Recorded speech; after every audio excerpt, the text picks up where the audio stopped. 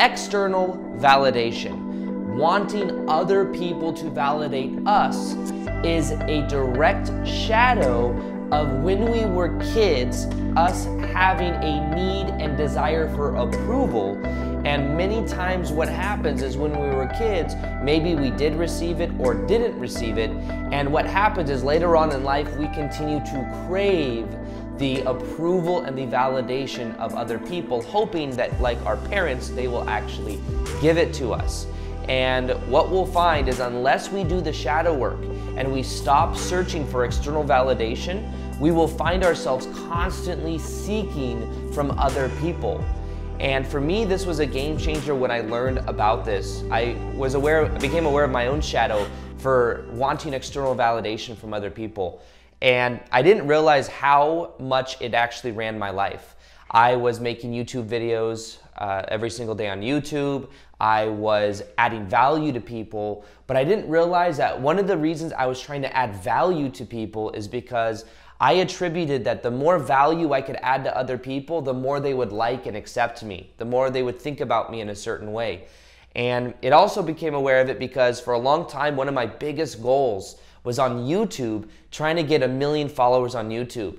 I remember when I was working at Barney's New York and Women's Shoes, and I started to make daily videos on YouTube. And it was very exciting because my channel started to grow, and the more validation I would get, the more people that I would get that would like my content, and the more subscribers I would get, the more fulfilled I would feel. feel. But it was a like part of fulfillment that wasn't actually long, like didn't really stay around, and it was built on this like false premise it would just give me like little jolts and I would check Social Blade and I would look for this external validation. And what happened is anytime I'd hit a certain goal, it would feel really cool for a minute and then it would go back down. And I would then be looking for more. I'd be looking for more validation, more of that uh, approval from other people. And I remember the day that I hit 100,000 on YouTube, I was uh, getting ready to go to the gym. Actually, the night before, I had 97,000. I had a video that popped out and went viral overnight. And all of a sudden, uh, it was over 100,000. And I remember thinking, oh, I'm going to do a Q&A. I'm going to do all this cool stuff for the audience. And all of a sudden, it was here.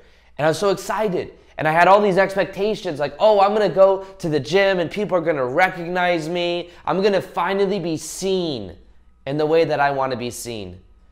And I went to the gym and it was pretty much the same from the day before. and every other day I went to the gym. There was zero difference.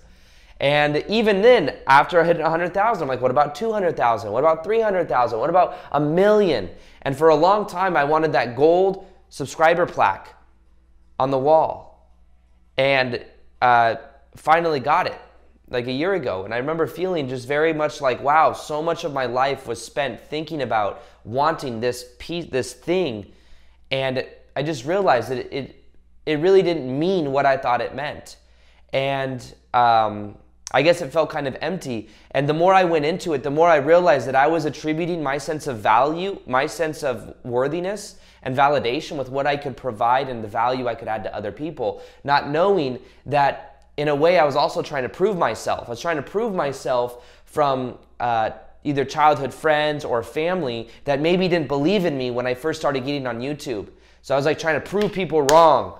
And there was also a part of me I realized that from uh, my own childhood, and many of you know my story, but from 7 to 15 years old, I had no freedom at all. I wasn't allowed to have friends, wasn't allowed to uh, go to school, I'd earn going to school activities. Normally, I was locked outside of the house having to do yard work with my brother, wasn't allowed to watch TV, had to only got TV dinner at night and a bowl cereal in the morning, so very malnourished. All of a sudden, have all this freedom, but from that period, there was a, a sense of myself where I didn't feel worthy. I didn't feel whole and complete. And because I had to please my ex stepmom, who was very mentally and emotionally abusive, it then trickled into the rest of my life where I was trying to please other people. If I could please other people, then I would survive. In a way, it was a survival mechanism. But the main core wound that I've realized that came from craving external validation is that I have abandoned myself in childhood pro- and like look while I look at my childhood, there was a time when I abandoned myself. You could say that it's the abandonment wound. The abandonment wound is what was causing me to not validate myself because I was afraid that if somebody else would abandon me, then I would feel that same sense of emptiness or I wouldn't survive. Even having emotionally unavailable parents as a kid. that will cause us, that can cause us to then feel afraid of being abandoned. So, how can I change my sense of self to not be abandoned? And we will then bend like pretzels. We'll bend backwards. We'll do whatever we can. We have trouble saying no. We become people pleasers. And the key and the cure to the abandonment wound, you want to know what it is? It's to stop abandoning the self. To stop abandoning the self. Same with the validation. The reason we want validation is because we don't want to feel abandoned. But if we would validate ourselves, if we would stop abandoning ourselves and start doing what we want to do and filling up our own cup, we wouldn't need the external validation. This was the game changer for me.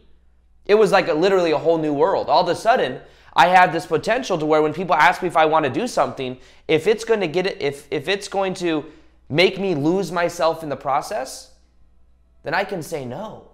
Before, I couldn't say no. Because if I were to say no, I would lose the validation of other people and I could be abandoned again. And I would feel very empty and hopeless.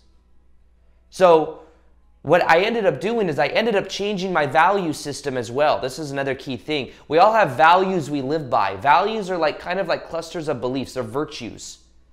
And if we live by the value of wanting people's validation at the top of our list, then we end up being guided by that force. When you go to a Tony Robbins conference, by the way, like a Date with Destiny, most of the power of that for many people is looking at the values, rearranging the values. Because certain values won't lead to, if you value significance, is what he always talks about, over that of valuing growth or connection and love, then a lot of times you will maybe, you know, height, you, you will maybe, that, that's not a formula for happiness because you want people to see you because maybe you don't feel seen.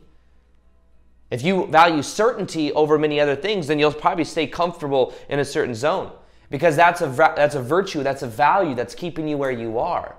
So for me, I had to become aware of the strong importance I put on wanting other people's validation wanting other people's approval, and I had to start giving it to myself. And then I started to value authenticity more than anything else.